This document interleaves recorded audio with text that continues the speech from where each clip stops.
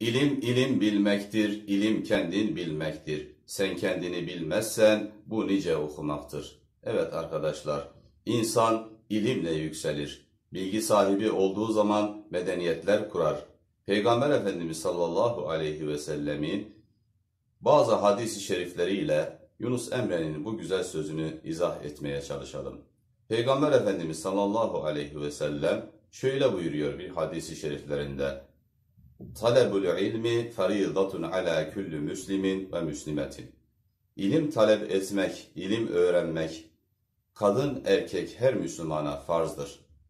Başka bir hadisi şeriflerinde ilim Çin'de de olsa alınız buyuruyor.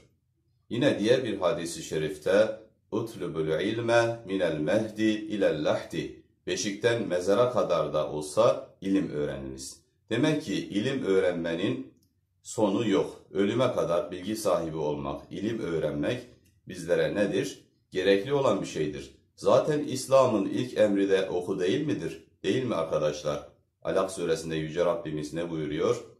İkra bismi rabbikellezî halak, halakal insâne min alak. İkra ve rabbukel ekram, ellezî alleme bil kalem, allemel insâne ma lem ya'lem.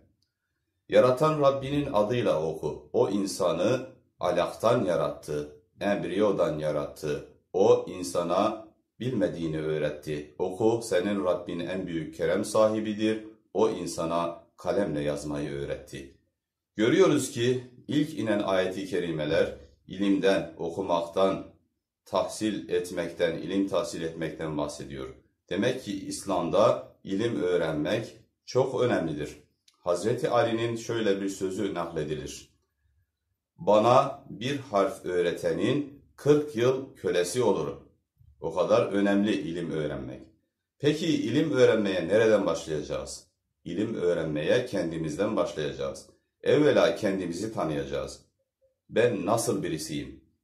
Bu konuda 5 ne kuralı dediğimiz bir kuralı kendimize sürekli rehber edineceğiz. Nedir onlar?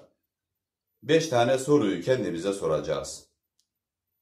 Birincisi ben nereden geldim?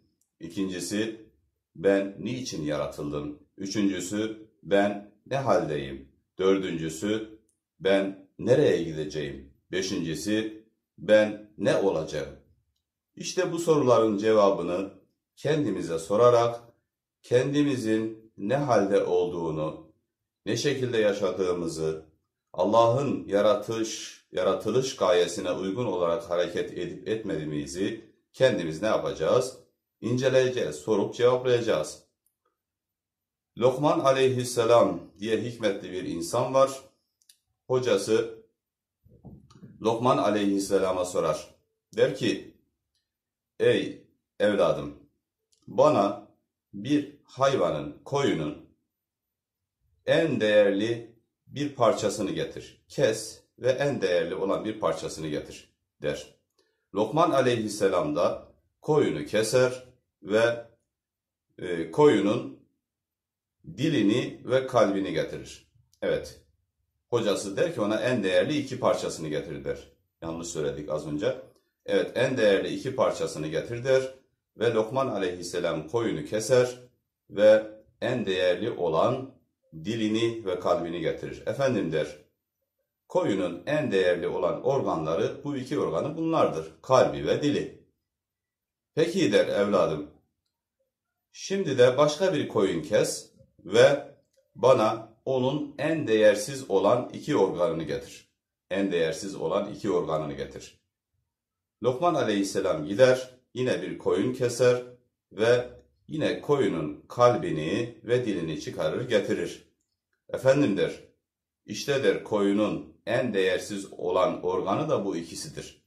Kalbi ve dili. Sorar hocası, evladım der, ben sana koyunun en değerli organını kes getir dedim, sen kalbini ve dilini getirdin. En değersiz iki organı ise kalbi ve dilidir diye cevap verir Lokman aleyhisselam. Hocası sorar merak eder. Ben sana en değerli iki organını getir dedim. Sen kalbiyle dilini getirdin. Ben sana en değersiz iki organını getir dedim. Sen yine kalbiyle dilini getirdin. Bunun hikmeti nedir diye sorar. Lokman aleyhisselam ise efendimdir. Bir insan iyi olduğu zaman bu ikisinden daha iyi organ olamaz. Bir insan kötü olduğu zaman bu ikisinden daha kötü organ olamaz. Çünkü iyilikler ve kötülükler kalpte başlar ve dile yansır ve diğer organlara yansır. Evet arkadaşlar, demek ki bizler Allah'ın verdiği birçok nimete sahibiz. Elimiz, gözümüz, kulağımız, ayağımız, elimiz ve diğer e, sahip olduğumuz bütün e, bedenimiz, organlarımız Allah'ın vermiş olduğu bize birer nimettir. Yine çevremizde meyveler, sebzeler ve diğer sayamayacağımız kadar nimetler Allah'ın bize verdiği sonsuz nimetlerdir. İşte bizler bu nimetleri tanıyacağız ve bu nimetleri bize vereni, yaratanı tanıyacağız. Yüce Rabbimiz bizden ne istiyor? Bu nimetlere karşı şükretmemizi istiyor.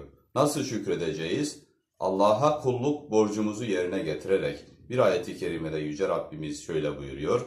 وَعْبُدْ رَبَّكَ حَتَّى يَأْتِيَكَ الْيَقِينَ Sana ölüm gelinceye kadar Rabbine ibadet et. Evet, bizler Allah'ın razı olduğu bir kul olmak istiyorsak, Allah'ın vermiş olduğu bu nimetleri Allah'ın razı olacağı şekilde kullanmalıyız.